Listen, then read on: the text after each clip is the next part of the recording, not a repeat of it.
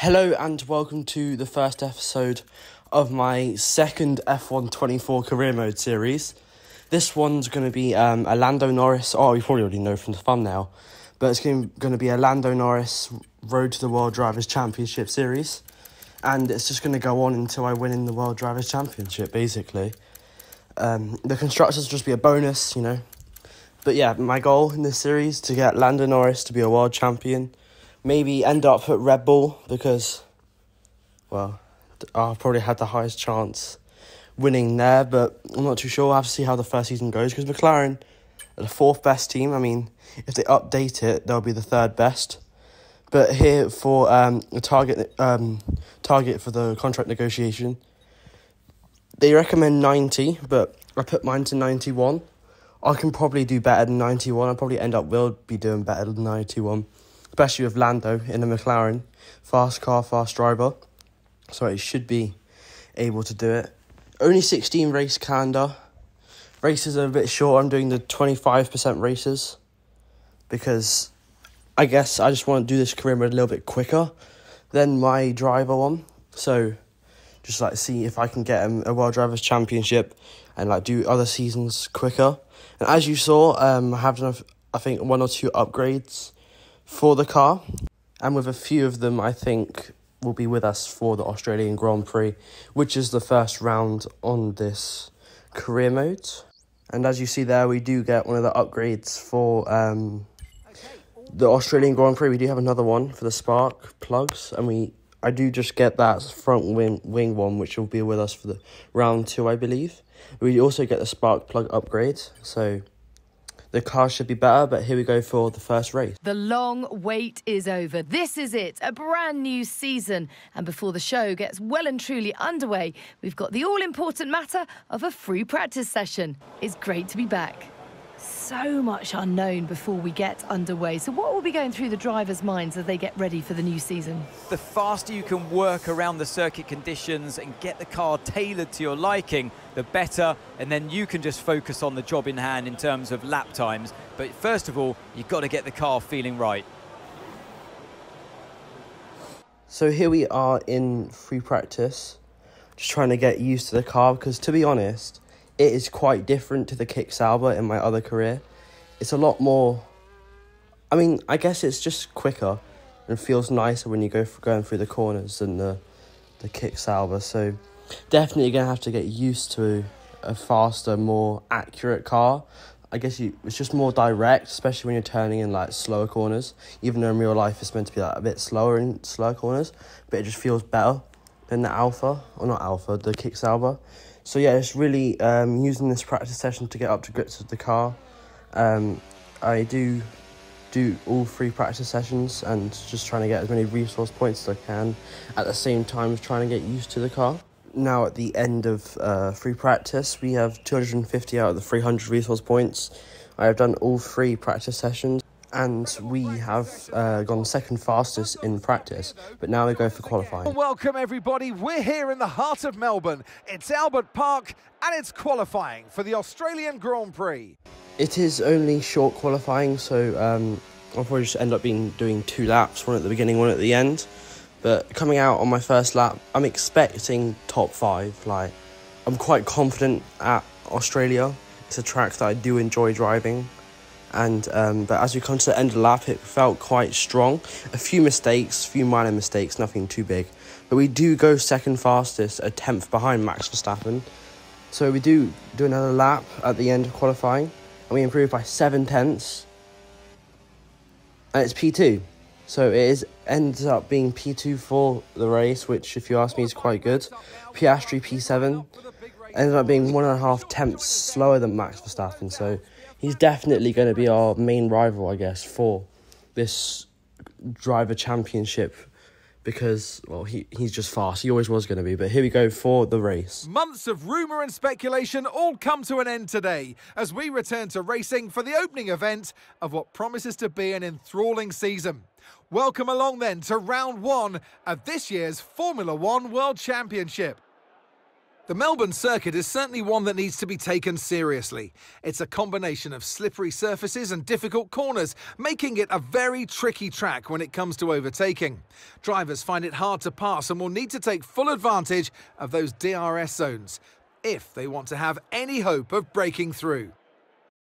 So with the race not far away from starting, here's what today's grid rundown looks like. Max Verstappen put in a fantastic lap yesterday, and he'll start from pole position. And Lando Norris lines up alongside. As we continue through the rest of the grid today, we have Perez, Fernando Alonso, Leclerc, Sainz, Oscar Piastri, Stroll, Hamilton, Albon, Russell, Zhou, Bottas, Gasly, Tsunoda, Ocon, Sargeant, Hulkenberg, Magnussen, and Daniel Ricciardo fills the last spot on the grid. So for the strategy here, we're probably going to opt for the one stop here, mediums, hards. I don't know if I might swap it for hards, mediums, but either way, it's going to be the one stop. Um, I just think it's probably the faster stop. Yeah, I think I'll just stick with the mediums, hards. But as we go to the grid here now, the starting lights do come on. And as you go to five red lights, it's lights out and away we go. Not the best start for us here. Max Verstappen getting a great start, and the car behind us, I think Fernando Alonso getting a great start as well. Perez getting a great start, going in front of us as we leave two places off the start. We do kind of go side by side here with Fernando Alonso, and we just um, stay behind him there. As we drop down to P4 on the start, we try and go round the outside of, of Fernando Alonso here, trying to regain that P3 we do try and stay down the inside. We give him the room and stay side by side, but he does back out, which helps us get up into P3. Lap 6 here now, Fernando Alonso right behind us with the DRS. Maybe looking to make a move on us here. Also, Piastri trying to get involved, but Alonso does back out. At the end of lap 6 now, Fernando Alonso behind us with the DRS on the main straight. We're looking to go up our inside, going to turn 1.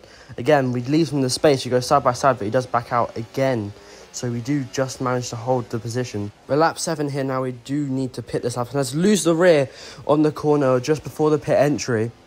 I lose the rear, so you can definitely tell it's time to swap the tyres over.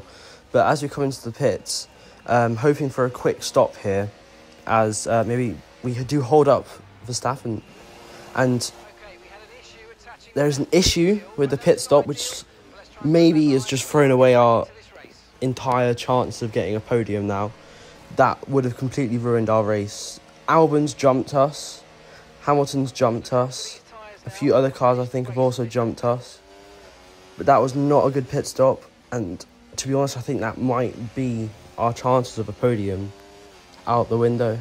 Towards the end of lap 8 here now, I'm really putting my foot down trying to gain those positions that I did lose in the pit stop phase as the other cars start to pit we are currently P9 as we get really close to the back of Albon here, but with the DRS and probably using a bit of our battery, maybe trying to look to make an overtake on Albon, diving down the inside, just making sure not to get too close to Russell as he does try and stick around the inside of us. We do manage to make the overtake stick.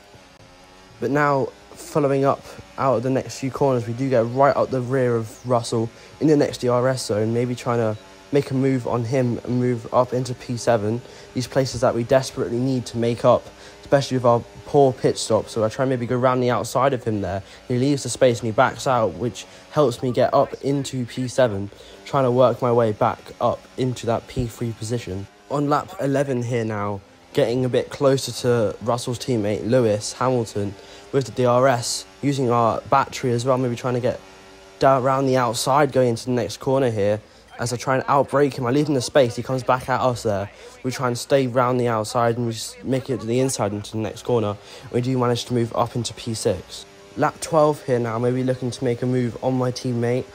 Trying maybe not to be too aggressive here, don't want to cause us both to crash out. But I do try and go down the inside and he does let me through. But I do go wide there and completely lose the car. Somehow managing to hold it on the track. But I do lose the car there on the rear. Somehow managing to keep it going but I do manage to hold off both um, my teammate and Alonso here, who gets very close to overtaking me. I feel I make slight contact with my teammate there, but luckily nothing too severe. Lap 13 now, just Charles Leclerc holding me up before I get back to my P3 position back on the podium with no DRS to help him. And using a bit of our battery, we do get past him very easy. I do dip a tyre in the grass there, but nothing too much. And we do manage to overtake him quite easily here. But on the end of that lap here now, he gets the DRS, maybe looks to make a move off our inside here now. And he does get back through, but with the DRS again now here, I'm going to have to burn my battery, try and make sure I stay with him. But I don't. Uh, with the slipstream, somehow he goes defensive, but somehow I uh, don't lose the position. And then Alonso slides in and manages to gain a position on us there without um, realising I wasn't really focusing behind me. Then Alonso slides in and manages to gain a position there. But now going through the final DRS zone of lap 14, I have quite a bit of battery, so maybe trying to use a bit of it to try and get a run on Leclerc. As we go three wide, I try and uh, break a bit earlier so we don't make any contact, but I do make contact at the rear of Charles Leclerc. I think Alonso may be going quite wide. They're taking a lot of that apex. But we do come out still at the back of this free freeway battle. Alonso, I think, getting past Charles there as you go three wide there, which probably wasn't the best idea, so I did back out. But now, towards the end of this lap, they're still going side by side. Maybe I can get a run. And Alonso breaks quite early there. I don't think, you know, shouldn't really be breaking there, but he does break as you go in side by side. But I do manage to get the DRS using a bit of my battery. I do overtake Alonso now, just Leclerc on this last lap. All I need to do is pass Charles Leclerc. I do get that P3 first race and I get a podium with the DRS using my battery, maybe trying to send it down the inside here of Charles Leclerc. He stays with me as we go side by side.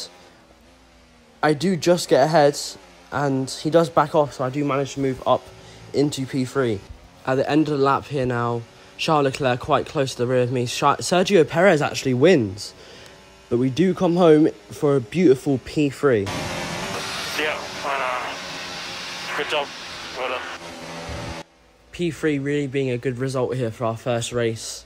Obviously, the two Red Bulls ahead of us there. We do get driver of the day as well. But um, the two Red Bulls ahead, so we're definitely be fighting them for the constructors and also the drivers. But fair enough to Sergio Perez for being able to hold off Max Verstappen. But a great P3 for us. Definitely uh, deserved, I would say, but definitely going to help us towards the Drivers' Championship. Maybe we can even win it in the first season. If so, then I'll do like a Charles Leclerc career of Road to the World Drivers' Championship.